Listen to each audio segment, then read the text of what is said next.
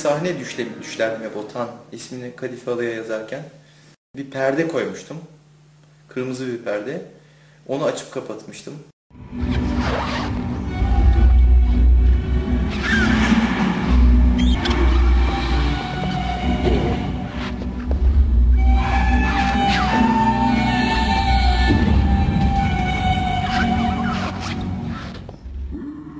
Ve arkadaşlarıma şunu dedim. Eğer beni yine çağırırlarsa hiç kimse beni tutamaz.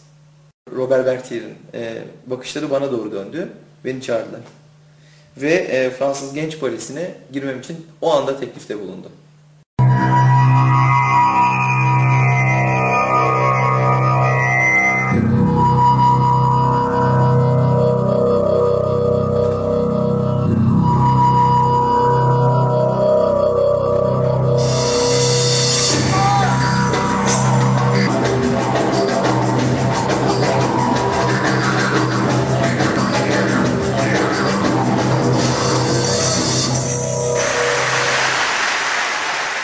Pierre Lacroix oradaydı ve çağırdı. Ee, ve ilk konuşmamdan da anladı benim e, Fransız olmadığımı. Peki sen ne yapıyorsun burada diye yani resmen hakaret etmeye başladılar bana. Ee, ben de resmen süt dökmüş bir kedi gibi. Yani dedim bir yaramazlık yaptım. Sadece o ortamı tatmak istemiştim. Ama buraya kadar geleceğini hiç düşünmüyordum. Çünkü çok dansçı var içeride. Ee, beni kovdular oradan.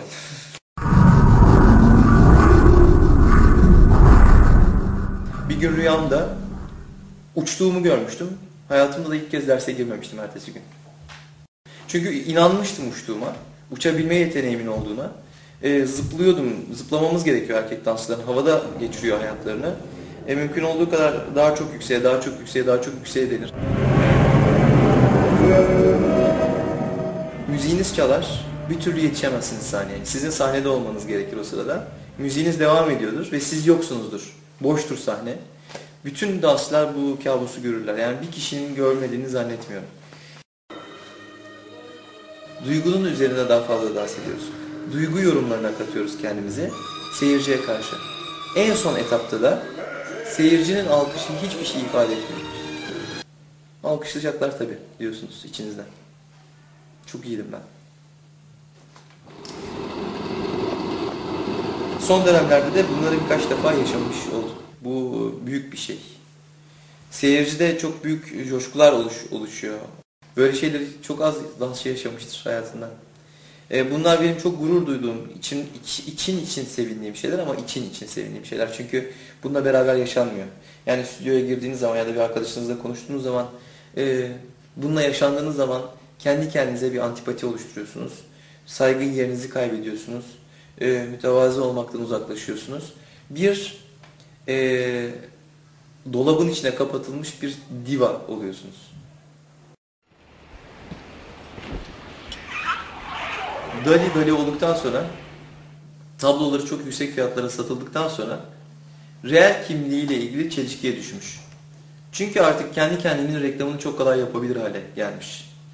E, bir sergi açtığı zaman ayılan bayılan insanlar görmüş. E, tablolarından en güzellerinden üç tanesini arkadaşının bir restoranının e, mutfağına yerleştirmiş. Sadece şeylerin, oradaki aşçıbaşıların tepkilerine bakmak için. Hiçbirisinin tepki vermediğini görmüşler. Yani hiçbirisi, herkes maydanozunu doğruyor, çorbasını yapıyor, restoran normal işliyor ama bir tepki yok. İşte demiş benim gerçek kimliğim bu. Bu kadar dikkat çekebiliyorum. Bu iş sadece reklam demek. Ee, ve arkadaşıyla konuşurken arkadaş da şu lafı etmiş. Ee, belki demiş, bütün aşçılar demiş, tablolar oradayken tabloların farkında değiller. Ama onları oradan alsak eksikliğini hissederler. Biraz bu hale getirmeye çalışıyorum baleyi Türkiye'de.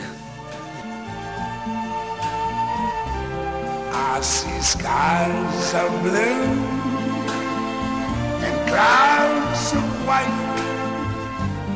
Bright blessed day, the dark sacred goodnight, And I think to myself,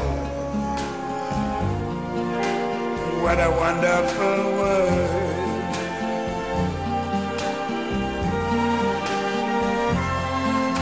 the colors of the rainbow, so pretty in the sky, are also on the faces of people going by.